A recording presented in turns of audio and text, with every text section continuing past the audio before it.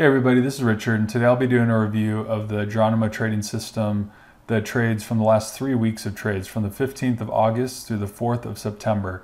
Overall, it was a pretty tough period for us. We had four spread trades, they were all losers, and then one day trade that was a loss as well. So, all in all, it was a loss of about 35% on a $15,000 unit size, which is about $5,316 per unit traded. But here's a trade list, and let's go ahead and look at some of the trades. Um, I know this trade list is a bit confusing. We'll start with the easy one. The last trade on the bottom, that's just a day trade. It shows that we went long at 40.15 and got stopped out at 4,003. So that was that trade for a loss of about $600. Uh, if you look though at the spreads, these are the ones that can be a little confusing to read. But if you look at the time here, this is Mountain Standard, by the way.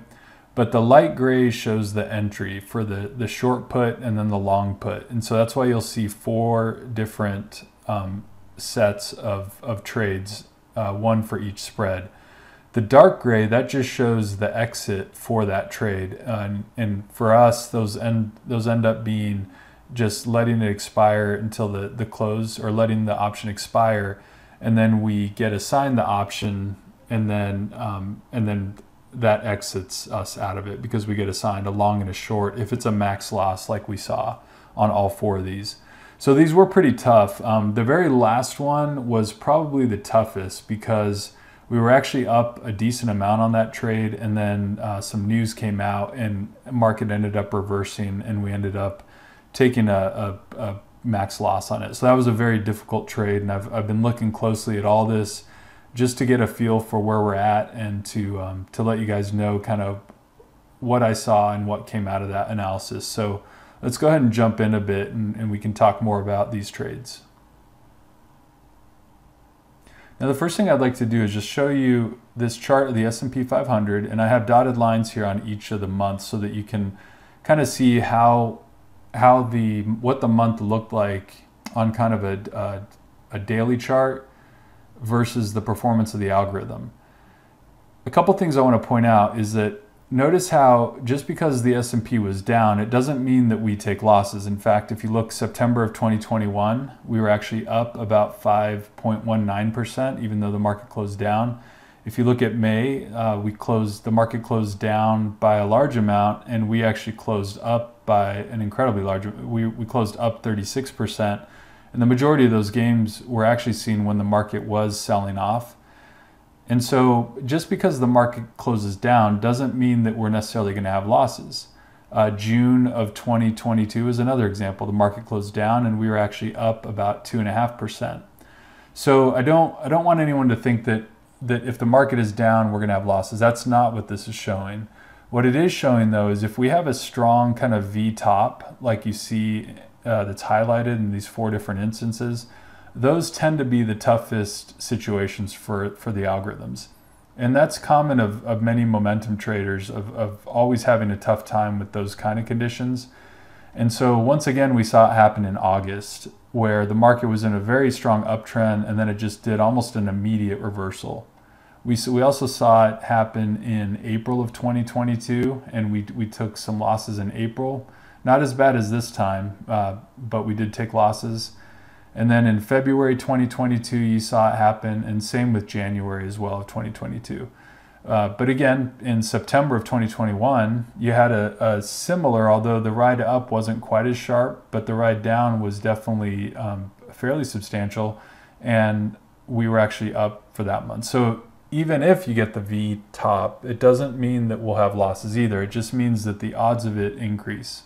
So I want to just highlight that. And the other thing I want to point out is when the market reverses the opposite way, we tend to not have those issues. And that's, um, that's primarily because the momentum or the put spread algorithms will have been out of the market. And so we don't get hit on the swing, on the upswing. And so it's only on that downswing that, that we, we can get hit as, as the market rolls over. Now, if the market rolls over slowly, then a lot of times we'll actually be profitable uh, and that's because of the, the nature of the spread trades. They they aren't guaranteed to be losers just because the market is down. They uh, they can have winners depending on how how big of the move how big the move lower was. So um, so yeah, those are a few things I wanted to point out. And then when you sprinkle in the day trades on top of all these different days, then it can really give us a lot of really good days, even though the market is down, and even if you, you get the V top. But in this case, we just didn't have any line up. If we would have had some like we did in May, then obviously this V top would have been would have looked a lot different.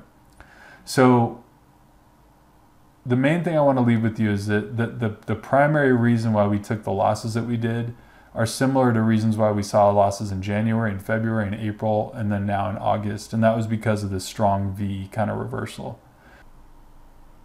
The past couple of weeks have been a reminder to us all that trading futures does involve substantial risk of loss and it's not appropriate for all investors.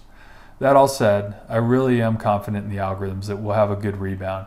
The reason why is whenever we have a, a strong sell off like we saw towards the end of August, a lot of times that is followed by some really good day trades and that's in the form of either short day trades as the market continues to sell off or short covering rallies. And so I am very confident that we'll have some kind of a rebound and that the algorithms can pull out a really good September. And I'm super optimistic that we'll see that. But of course, there are no guarantees. Now, at the same time, I don't want to minimize the losses. So, um, if anyone has any questions or any concerns, feel free to reach out to me. You can email me at richard at algorithmictrading.net.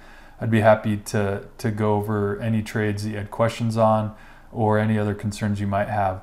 But to kind of end the, uh, this video, I just want to remind everyone that, again, um, these algorithms are, in my opinion, very strong, and none of what happened in August has given me any concern at all. Um, I pointed out the reasons why, the, the, the primary reasons being that, that we've seen this in the past and overall, there's nothing new that has occurred that would give me any concern. Um, but it doesn't make it easier. Uh, for sure, it's difficult when we see these kind of losses, but just remember that the losses can come back just as quick as they went away or as we took the losses in that two weeks. Um, it really only takes one or two good day trades. And so hopefully we see that soon. But thank you so much for watching, watching and have a great day. Bye bye.